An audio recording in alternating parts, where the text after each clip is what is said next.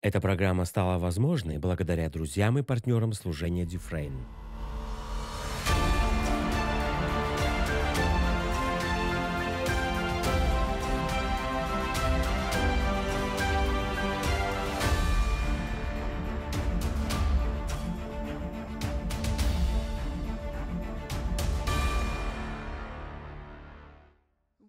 На предыдущих служениях мы говорили о том, что Бог сказал через брата Норвела Хейза, драгоценного мужа Божьего, который учил о вере, учил об исцелении, но учил об этом, акцентируя поклонение. Несколько месяцев назад он ушел домой к Господу, и я осознаю, что мы, как тело Христа, не должны потерять тот свет, который Он принес Духом Божьим. Аминь. И Дух Божий побудил меня просмотреть и найти, что Бог говорил ему и через него телу Христа. И не обязательно повторять проповеди, но повторить послание. Аминь. Итак, я нашла в одной из его книг что-то, что Бог сказал ему конкретно. И я хочу поднять эту тему сегодня утром. Бог проговорил ему, «Мои дети в целом любят меня, но они живут в нищете и в болезни и в поражении. Кто из вас с этим сталкивался?» Бог сказал, «Мои дети не живут в благословениях небес», и затем он сказал «потому что». Заметьте, если мы не живем так, как нам предназначил Бог, тому всегда есть причина. И она не со стороны Бога, а со стороны человека. Итак, Бог сказал, они не живут в благословениях небес, потому что они поклоняются мне недостаточно. В связи с этим мне нужно вернуться к тому, чему нас учил Папа Хеген. Он нам часто говорил, хвала приносит помазание, а помазание разрушает ярмо. Соответствует ли это Писанию? Несомненно. Слово говорит, Бог живет среди словословий своего народа. Как Он живет в нашей хвале? Через свое помазание. И когда мы прославляем, помазание Божье может проявиться, потому что когда Бог прославлен, Он являет себя, Он приходит. Аминь. Итак, Папа Хеген учил нас в соответствии со Словом что хвала приносит помазание, а помазание разрушает ярмо. Люди говорят, ну, место Писания про то, что он живет в словословии своего народа, это Ветхий Завет. Да, он живет в своих людях сегодня, но он все еще живет в хвале. Аминь. Мы носители его присутствия. И это значит, что когда мы поклоняемся, наше поклонение влияет на атмосферу вокруг нас. Аминь. Так что нам полезно поклоняться у себя дома. Зачем? Чтобы его присутствие ощущалось у нас дома и влияло на атмосферу. Аминь. Итак, Бог сказал брату Норвалу Хейзу, «Они не живут в благословениях небес, потому что они поклоняются мне недостаточно». И я бы перефразировала это так. Они не поклоняются достаточно долго, чтобы помазание пришло и разрушило ярмо потому что часто на это требуется какое-то время, а иногда в зависимости от того, через что вы проходите, может потребоваться больше времени, чтобы ваше сердце присоединилось к тому, что вы говорите в вашем поклонении. Не ментальное поклонение приносит помазание, но поклонение, которое течет из вашего сердца, когда ваш дух задействован. И для этого может потребоваться какое-то время, в зависимости от того, с чем вы столкнулись. Бывают восстают обстоятельства, которые пытаются удержать наше внимание на умственной арене. И нам нужна практика, чтобы научиться отключать свой разум и подключать свой язык к духу. Аминь. Чтобы мы поклонялись сердцем. И когда мы поклоняемся сердцем, это значит, мы по-настоящему искренни. Мы не просто говорим Богу льстивые слова. Аминь. Но мы искренне выражаем благодарность и признательность нашим духом, который больше всего похож на Него. То есть мы не ошибемся, сказав «мои люди не живут в благословениях небес, потому что они не поклоняются мне достаточно долго, чтобы пришло помазание и разрушило то ярмо, которое пытается на них повлиять». И дальше Бог сказал брату Норвелу, «Ты учишь вере и исповеданию, ты молишься за больных. Кто из вас знает, что это правильно? Но тебе нужно поклоняться мне больше. То есть правильно делать все остальное, но неправильно забрасывать поклонение. Значит, учение об исповедании, само исповедание и молитва за больных никогда не заменит поклонение в нашей жизни. Итак, Бог сказал ему, «Тебе нужно поклоняться мне больше, и тебе надо учить мой народ поклоняться мне больше». Вы можете спросить, почему людей надо этому учить? Их нужно учить тому, что когда обстоятельства давят им на голову, идут против их разума, их жизни, это не время перестать поклоняться. Вам следует знать, что это как раз время поклоняться. Почему? Чтобы под впечатлением и в замешательстве от умственной арены вы не попали в ее плен и не последовали за ней, но остались подключенными к Духу, из которого течет победа. Видите ли, победа находится в вашем Духе, потому что Дух Святой в вашем Духе. Победа не в вашем разуме, а на вашем Духе. Поэтому дьявол делает все возможное, обрушивает на нас разные обстоятельства и стратегии, бомбардирует наш разум, затягивая нас на умственную арену, чтобы мы не остались на арене победы. Он хочет вытащить нас с арены победы, арены веры, арены нашего духа. Поэтому необходимо учить людей поклоняться Богу вместо того, чтобы волноваться, поклоняться Богу вместо того, чтобы бояться, поклоняться Богу вместо того, чтобы быть в депрессии, пред лицом волнений, пред лицом страха, пред лицом депрессии. Чем больше вы поклоняетесь, тем меньше вы погружаетесь во все это. Поэтому людей необходимо учить, ведь это настолько естественно пойти вслед за своим умом, настолько естественно поддаться своим чувствам, страху, волнениям. И нужно учить людей, не идите туда, не идите привычным вам путем, не идите путем разума, не идите путем плоти, идите путем поклонения. Необходимо учить людей, не пытайтесь разобраться в своей проблеме, поклоняйтесь. Пока вы будете поклоняться, Бог будет действовать вам во благо. Аминь. Почему? Потому что когда вы поклоняетесь, вы приносите помазание, и помазание начинает действовать для вас и оно разрушает стратегии и бомбардировки врага. Аминь. Итак, Бог сказал брату Норвалу, «Тебе нужно поклоняться мне больше, и тебе нужно учить мой народ поклоняться мне больше». Почему? Потому что нас всю жизнь учили, что беспокойство — это то, как надо жить, ведь все так живут. Для нас это не вариант. Нам придется оставить общение с Богом, чтобы начать волноваться. Нам придется оставить общение с Богом, чтобы быть в депрессии. Нам придется оставить общение с Богом, чтобы взять на себя бремя страха. И когда мы поклоняемся, мы выбираем, мы выбираем, мы выбираем быть поглощенными им вместо приходящих мыслей страха, вместо беспокойных мыслей. Аминь. Это наш выбор. Итак, Бог сказал брату Норвелу, «Тебе нужно поклоняться мне больше, и тебе нужно учить мой народ поклоняться мне больше». Нам нужно стать в этом умелыми, нам нужно тренироваться. Когда разум под усиленной бомбардировкой, когда он перегружен, нужно тренироваться отворачиваться от этого. Как от этого отвернуться? Переключить свое внимание. Нужная вам помощь не в вашем разуме. Наша помощь в Слове Божьем и в нашем Отце, а Он в нашем Духе.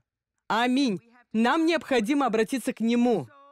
Итак, Он сказал, «Учи мой народ поклоняться мне больше». И я хочу, чтобы вы послушали эту последнюю фразу.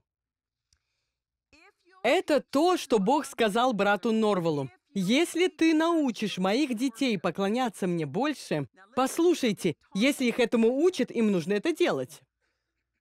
Если ты научишь моих детей поклоняться мне больше, я сделаю для них великое и недоступное. Подумайте об этом. Он говорит, если вы будете поклоняться мне, вы войдете в поток великого и недоступного. Что такое великое и недоступное? Ну что вам нужно, чтобы Бог сделал? Он совершит для вас чудо. Аминь. Сила исцеления будет действовать в вашей жизни. Обеспечение будет действовать. Великое и недоступное. Заметьте, Бог сказал, если ты научишь моих детей поклоняться мне больше, я сделаю. Я сделаю. То есть он реагирует на поклонение. Он реагирует на поклонение. Оно дает ему повод действовать. Он начинает действовать когда мы что-то делаем. Аминь. Послушайте, Бог предлагает нам великое и недоступное. Он нам это предлагает. И Он говорит, если вы будете поклоняться, то вы войдете в поток великого и недоступного. И нам было бы полезно принять его предложение. Мы принимали другие предложения. Мы принимали предложение беспокойства. Не так ли в прошлом? Мы принимали предложение страха.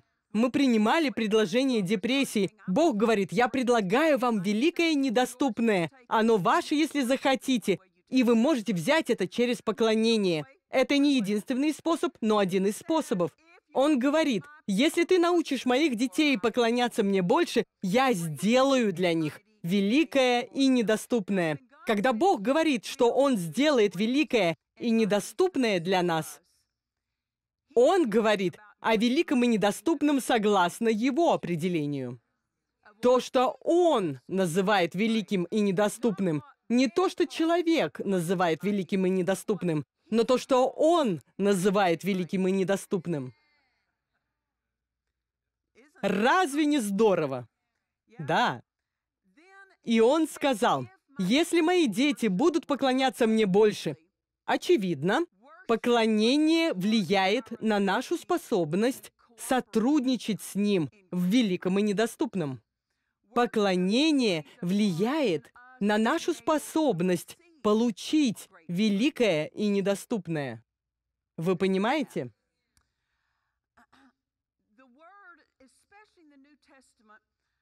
Я искала в Новом Завете и нашла 120 мест, где используется слово «получить», и это только в Новом Завете.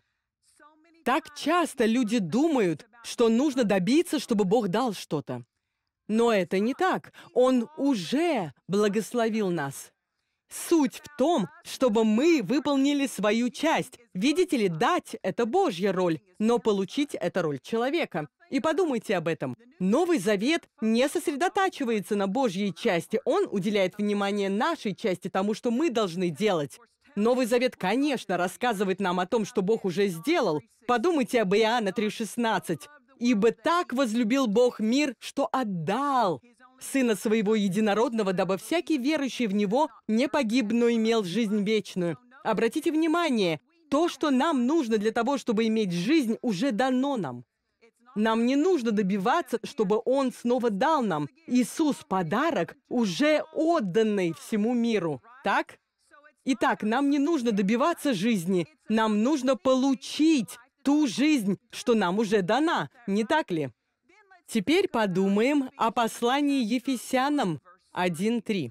«Благословен Бог и Отец Господа нашего Иисуса Христа, благословивший нас во Христе всяким духовным благословением в небесах. Он сделал это для нас через Иисуса Христа. Мой любимый перевод – это перевод Норли. «Благословен Бог и Отец Господа нашего Иисуса Христа, благословивший нас всем, чем наслаждаются сами небеса». Заметьте, Он уже благословил нас всем, чем наслаждаются небеса. То есть Бог не удержал от нас ничего, что есть на небе. Всем, чем наслаждаются небеса, Он нас уже благословил. Это все доступно нам. Итак, нам не нужно добиваться, чтобы Бог дал нам благословение. Он их уже дал. Не так ли? Аллилуйя. Далее, давайте посмотрим первую главу Колоссянам. Я прочитаю 13 и 14 стихи. Здесь сказано, «Бога, избавившего нас от власти тьмы и ведшего в царство возлюбленного Сына Своего, которым мы имеем искупление кровью Его и прощение грехов. Обратите внимание, здесь речь идет о том, что Он уже дал. То есть не нужно добиваться, чтобы Бог дал, нужно добиться, чтобы мы получили то, что нам уже дано. Мы читали, что Бог сказал брату Норвалу Хейзу, «Если ты научишь моих детей поклоняться мне больше, я сделаю для них великое и недоступное, Другими словами, великое и недоступное станет явным. Становится очевидно, что поклонение играет роль в нашей способности получить. Оно ставит нас в положение, в котором мы сможем получить то, что Бог нам уже обеспечил. Аминь. Поклонение, очевидно, готовит сердце, готовит дух человека к тому, чтобы получить великое и недоступное. Аминь. Если вы уделите время для поклонения Богу и пребывания в Его присутствии, ваш дух не останется прежним. Вы не можете побывать рядом с величием и уйти такими, как были, если вы внимательны, конечно. Так?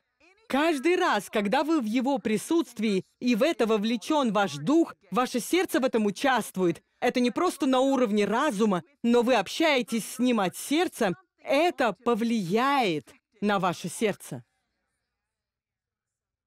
После общения с людьми, которыми вы восхищаетесь, или людьми, которые добились чего-то великого, уходя, вы замечаете, что что-то изменилось в вас. Вы загораетесь, воодушевляетесь. Бог более чем воодушевляет нас. Он расширяет нас. Аминь. И когда мы в Его присутствии, наш дух, а, начинает простираться. Он желает больше Его величия. Аминь. Пребывание в Его присутствии не может не повлиять на нас а именно поклонение позволяет нам пребывать в его присутствии. В нашей гостевой комнате есть ваза с конфетами. И когда дети были помладше, Лиам, Бер и Нэнси заходили, и я говорила, возьмите конфет. Но их ладошки были такими маленькими, что они могли взять только одну или от силы две конфеты, если удавалось захватить за фантик. И что я делала? Малыш, этого недостаточно. И я запускала в вазу свою руку и нагребала полную горсть. Тебе не обязательно есть все сразу, можешь, если захочется, это было бы здорово. Но... И я просто начинала набивать им карманы. Зачем? Но потом...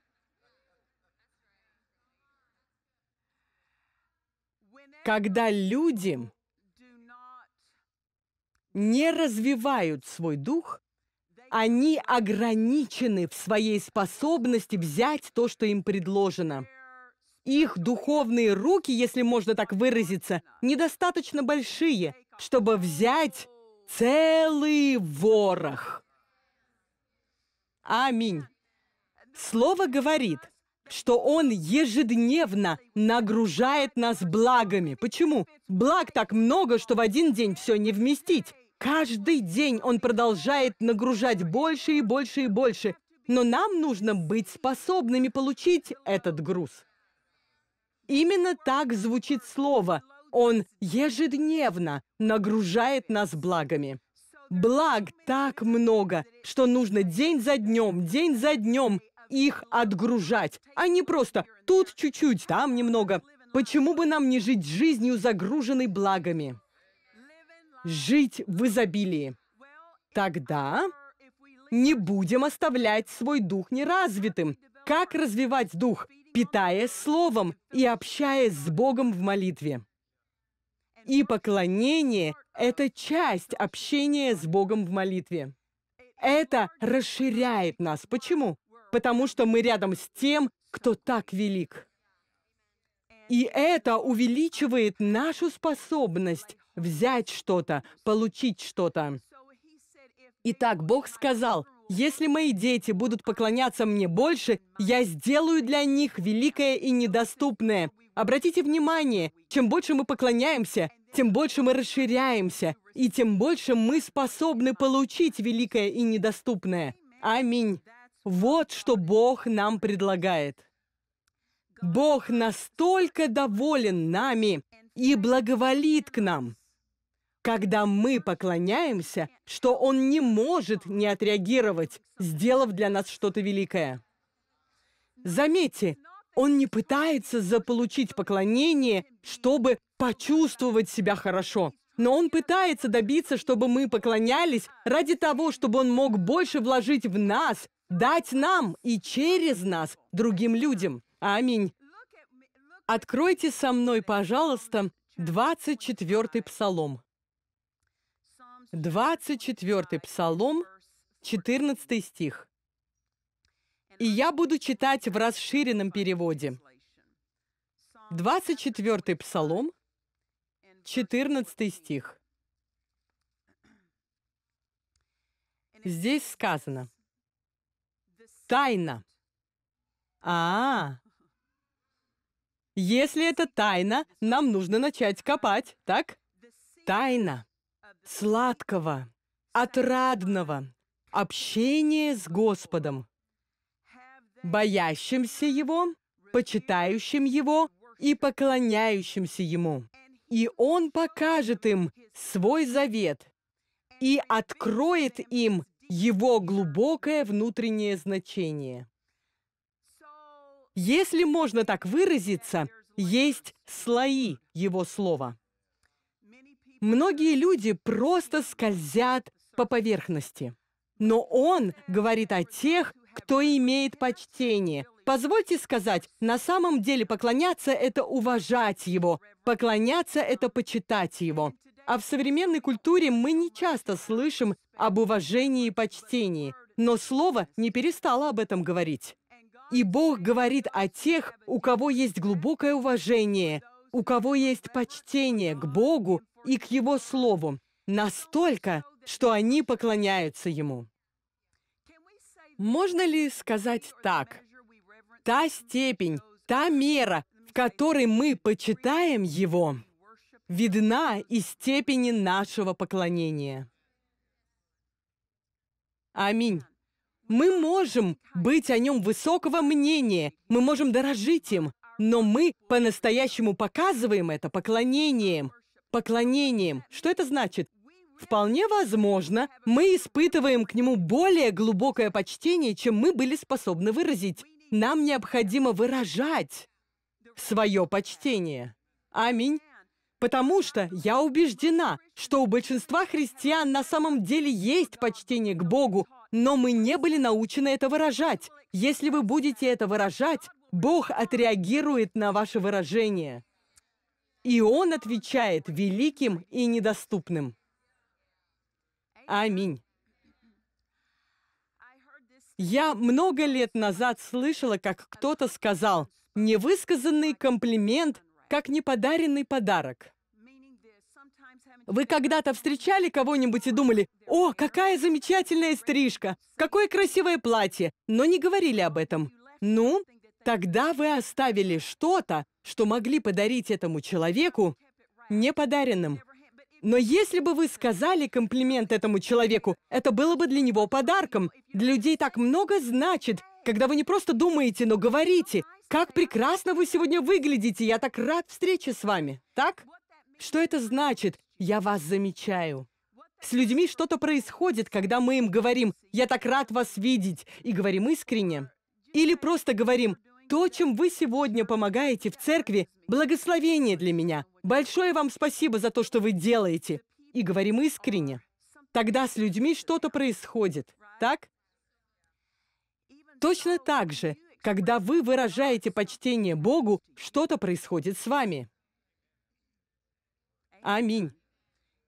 С вашим духом что-то происходит, когда вы признаете личность такого уровня отдаете должное кому-то настолько великому, замечаете его.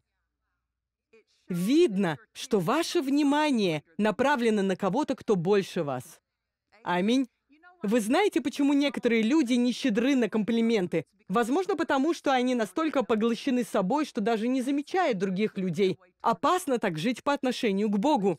Быть настолько поглощенными собой, что вы даже не замечаете того, что Он делает и хочет совершить для вас. И именно вы обделены, когда не замечаете Его. Поклоняться — это замечать Его. Отец, я замечаю, я замечаю, какое избавление Ты принес в мою жизнь. Я замечаю, что мои дети живут не так, как другие дети. Из-за того, что сделал ты. Я признаю это. Я отношусь к этому с почтением. Я помню это. Я думаю, что большинство христиан на самом деле почитают Бога, но иногда мы недостаточно это выражаем. Как в браке. Вы можете на самом деле любить и ценить свою вторую половинку, но если вы не особо выражаете это почтение и восхищение, взаимоотношения могут начать ослабевать. Общение в этом браке может пойти на спад, просто потому, что люди не выражают то, что на самом деле чувствуют, то, что они на самом деле думают о другом человеке. Если бы люди в браке каждый день говорили о чем-то, что они ценят в своей второй половинке, я вам гарантирую, итоги этого брака были бы другими в конце каждого дня. Аминь. Люди не идут на бракоразводный процесс, говоря о том, насколько они дорожат друг другом. Так? Возникает недостаток благодарности, недостаток признательности, и это приводит людей к неправильному исходу. То же происходит и в отношении Бога. Если мы не выражаем надлежащую благодарность, подобающее почтение, наша жизнь может оказаться в тупике. Не потому, что у нас не было почтения, а потому, что мы не выражали его. И именно об этом Бог сказал брату Норвелу Хейзу. «Научи моих детей поклоняться мне больше». Скажем так, научи моих детей выражать то поклонение, что у них есть, или то почтение, что у них есть ко мне. Почему? Потому что он отреагирует на это. И именно этого он хочет — отреагировать. Аллилуйя! Он хочет ответить на наши нужды, на жизненные ситуации, на наши обстоятельства. Он хочет ответить. Почему? Потому что Он хочет, чтобы мы были не жертвами обстоятельств, а победителями. Аминь. Аллилуйя. Мы надеемся, вам понравилась сегодняшняя программа. Посетите наш сайт dufresneministries.org, чтобы узнать о ближайших собраниях, поделиться своим свидетельством или обратиться с молитвенной просьбой. Эта программа стала возможной благодаря друзьям и партнерам служения Дюфрейм –